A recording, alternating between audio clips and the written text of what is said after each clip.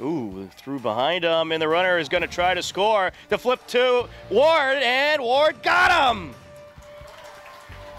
A huge tag out there.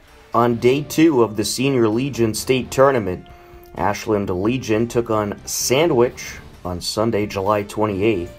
Sandwich plated two runs in the bottom of the third and hung on for the 2 to 1 victory over Post 77. The loss put Ashland in the 2 p.m. elimination game versus Somerset on Monday, July 29th. The game was scoreless until the bottom of the fifth. Gets a piece of this one, ripped into left field. That'll get down. Lead runner Nick Calabrese being waved around, and he will score 1 0 post 77. An RBI single for Hornung. Top of the sixth, Somerset responded. Sky is getting more and more dark, rain starting to fall. And this is hit in the air over to right field, and this is going to be all kinds of trouble. One run is going to score. Is another run? No. We're tied up at one. An RBI single for Will Tebow.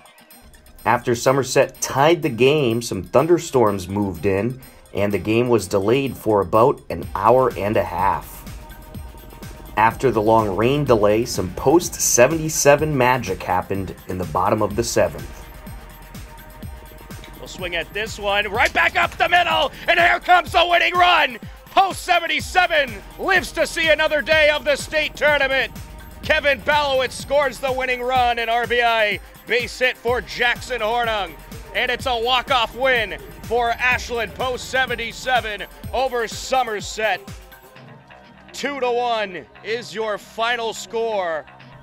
Ashland takes the win, two to one over Somerset. Cole Glassburn pitched the complete game despite the rain delay and gave up only one run on five hits. Jackson Hornung went three for four at the plate, including the game winning hit for post 77. Ben Fink here, who uh, might have changed this entire game with the great walk that he drew. Ben, uh, I understand you have to say something to the, all the people out there. Just like to shout out Somerset's coach for making me play in the game. I only need one labrum, but thanks, buddy. We appreciate you guys. Thank you. There it is, Ben Fink, the hero at second base today. Speaking of heroes, Jackson Hornung game-winning hit today. Jackson, how fulfilling was it to get that hit? Oh, it was it was awesome, especially after waiting those two hours. I just wanted one more at bat and uh, came with that opportunity, so I just had to take advantage of it. And uh, obviously a, very uh, defensive game today, some good pitching. Uh, it must have been frustrating not to be able to to leave all those guys on base early on and not be able to get the runs you want. But obviously, in the end, uh, you guys flourished and you're moving on.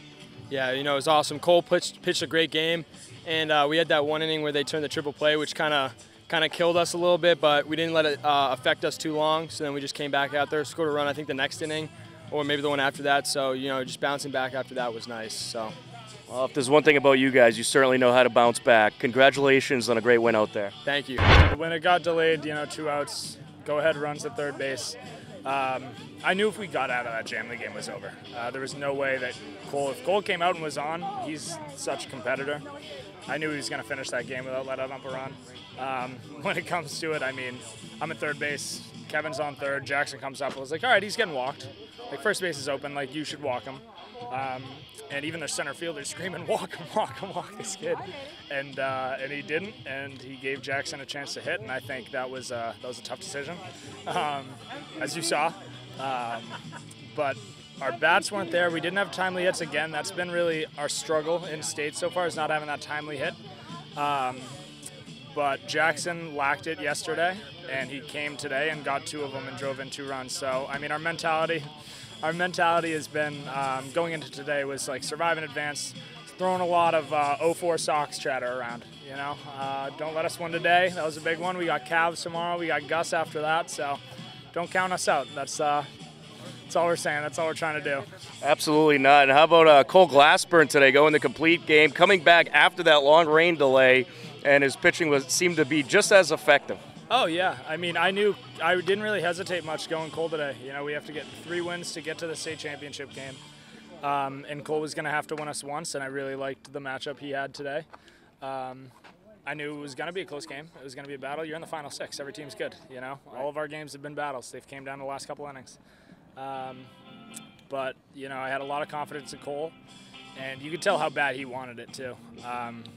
And for him to sit out for almost two hours, and you know, I, I got Dom loose, I got Louis loose. I, I was I was a little concerned um, with Cole waiting around that long, but um, you know, he just the whole time was like, "You're not taking me out of this game. Like, there's no shot. Like, you're not taking me out of this game." And so, I mean, he stepped up for us all year. I was going to let him do it again, he did. So it was awesome. Wow, rain, rain, go away. We got to play this game and finish it right.